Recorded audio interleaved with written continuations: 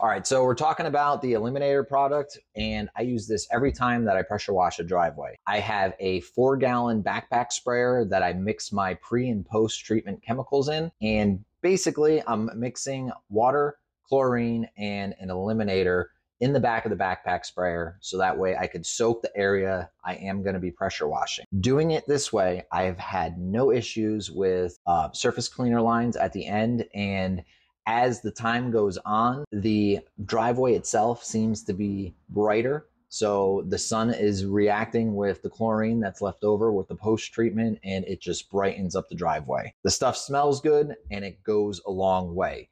I believe you only need one ounce per gallon. So if I'm doing four gallons on my back, then I'm only using four ounces and it will go a long way. Highly recommend it. Check it out. I'm going to do a little quick before and after of my pressure wash driveways that I did. You can see it suds up with the pressure surface cleaner and see the end result. Go grab some today. Definitely a great product. I'm so glad I was able to find this.